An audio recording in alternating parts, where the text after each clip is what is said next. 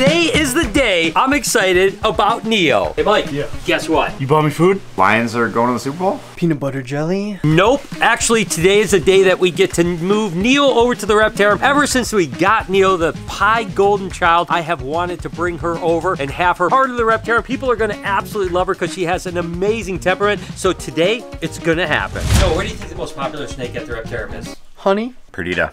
Perdita. That's right. I would definitely say my girl Perdita here is the most popular snake at the Reptarium. Every time people come, they want to hold her, and it's just amazing, right? Because she's got that black and white, much like Neo's got going on. And we actually had Perdita here when she was about the same size as Neo, and she grew up here at the Reptarium being handled constantly. And that's one of the main reasons why we got Neo over here now, is because we know if we can get her over here, she's going to have that same temperament that Perdita has. And I have a feeling it's going to be a close competition between Perdita and Neo who's the most popular here at the Reptarium. And without further ado, we've got to actually go get that enclosure set up so we can bring Neo over here. So let's go take a look at where it's going to go. Well, in a perfect world, we wouldn't really have a vertical cage as much as maybe something that has more ground space for something like this. But the fact that Neo is actually still pretty small and the retics do like to climb, I think that this is what's going to have to work for the time being. Obviously, as it gets a little bit larger, it's going to go into a larger enclosure, something like 4x4, something like that, eventually 8x4, eventually 10x6, something on that line. But for now, I think this is a good option because we really don't have any other space.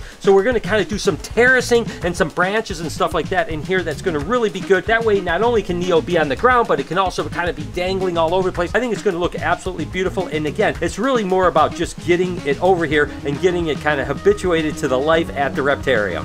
Why do we call her Neo? She's called Neo, short for Neapolitan. Of course, Neapolitan ice cream is vanilla, chocolate, and strawberry. And of course, she is white. She's kind of a brownish black, and she's got red eyes. So what better name than Neo, short for Neapolitan? Okay, so let's go talk to Jessica. She's to be setting up the enclosure. Jessica, what do you have in mind? I have to fix the background a little bit because it's like a little wonky down here. I don't Okay. want her to get behind that. No, do not want her to get behind it, It'll please. be a pain in the butt. So I've got some branches here. We're gonna do a little bit of hardscaping first. So I want to make the space more able for her to utilize. So I've got a few branches I'm gonna put in here. I've got some plants to make it look nice. She's gonna outgrow this cage so fast. Yeah. But uh, she'll be beautiful in here for a little bit. Exactly. I'm going to let Jessica do her wonder, and uh, like she said, it's a short-term thing here, but at least it will be awesome to get Neo over here. I really like ice cream. Step one is we are going to kind of set the stuff up in here to do the hardscape part.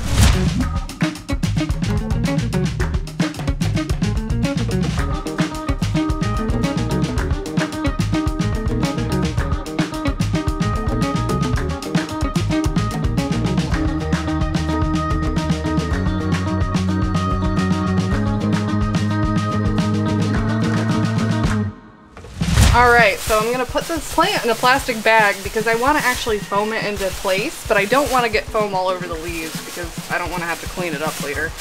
So this makes it easier. You may notice that the majority of the reticulated pythons that we have here at the Reptarium are females, like Gemma here. And that's because most of the time females are much more mellow and more predictable. Of course, there's some exceptions. We know Lucy isn't exactly the greatest female reticulated python.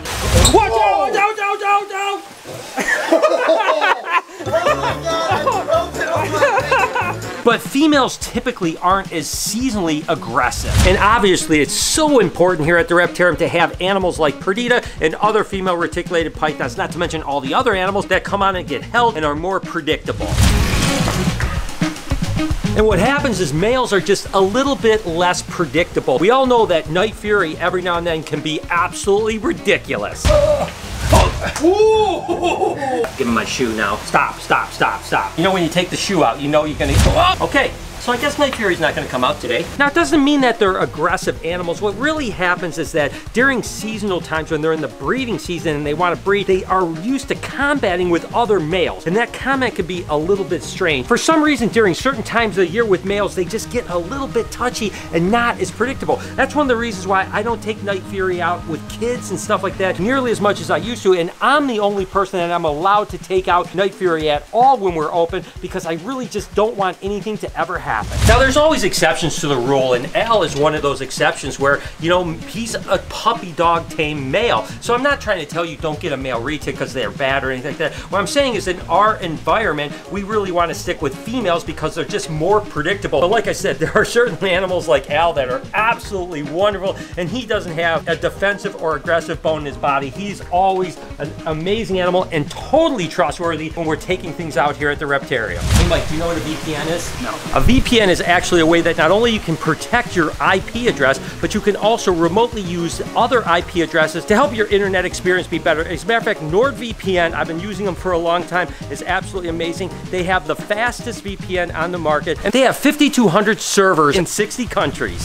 And with only one click, you just pick the location you want, and bang, you are on the internet. As a matter of fact, one time I was in China, I couldn't check my YouTube account because it's not allowed in China. So what did I do? I just went and clicked Hong Kong, I clicked New York, whatever it was, and I was able to surf my YouTube channel all the way in a country where you're not able to access YouTube. Noah, what, what would you do if you were traveling out of the country and that country wouldn't allow you to play your favorite game? Well, I'd be extremely disgruntled. Whoa, whoa, whoa, Noah, calm down. With NordVPN, you don't have to worry about that because you can use an IP address from a different country, so don't let your access limit your gameplay. And with NordVPN, you can actually use it on six devices and every major platform. Ah!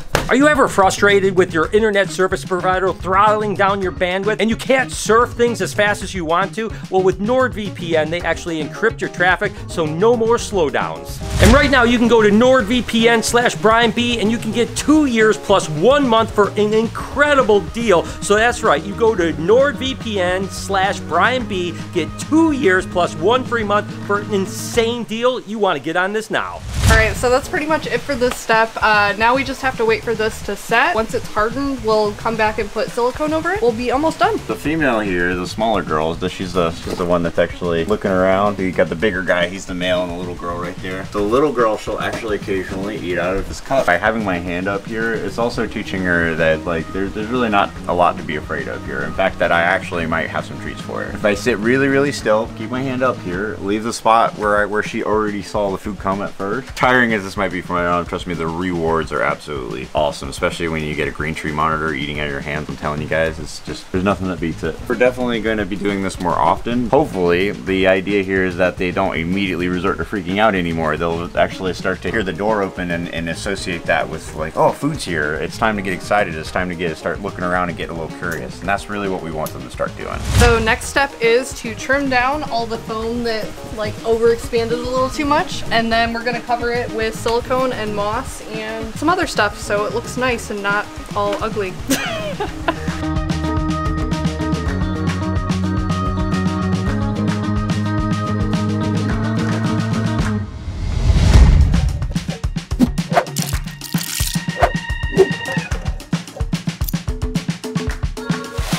I tell you, this has been my jam lately. I mean, obviously, number one, if you guys don't have a uh, container like this, don't be uh, killing the seas with all your plastic bottles. And then I've been going to Walmart and getting this sweet tea for my water. I'm not, it's a, not a brand deal. I'm just saying that I've been loving this stuff, and uh, so you'll be seeing me around doing this. But uh, get one of these, man. Save the seas. Oh, are we rolling? Yes. Oh, we are. Okay. Oh my god. Boom! Back at you again with Miltan. We kind of threw a bunch of seeds into his water bowl. What? This is the weirdest lizard ever because he eats bird seed, so it's basically a bird. Well, just like a dinosaur, right? Do you know why we keep him on the actual food? On the food because he's uh blind, so he has to feel the food. No. Pretty sure I'm uh, Barczyk. I think I know what I'm talking about. Pretty sure I'm Misty Mike. we keep him on the substrate just because they do actually, like Noah said. Uh, but on top of that, we have to make sure it's extra. he's not. But we gotta make sure he's extra taken care of and extra clean because he eats it when he poops and pees. We don't want him eating that, digesting it. Obviously, we don't want him getting sick. Super clean. He eats seed, he drinks seed, he lives on seed. This guy's just basically seed, man. Okay.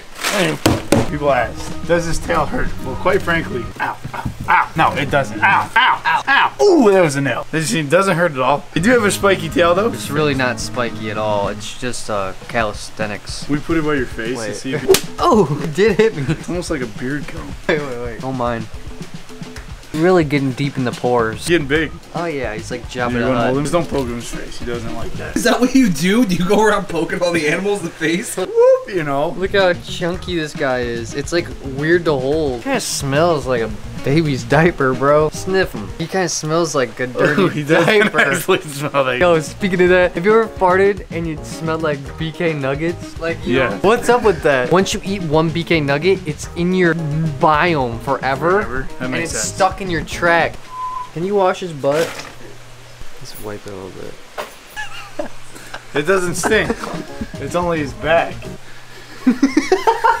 We're on the last step here. This isn't a bioactive cage, so it's really easy. All I have to do is put these fake plants in, the substrate, and we're all done.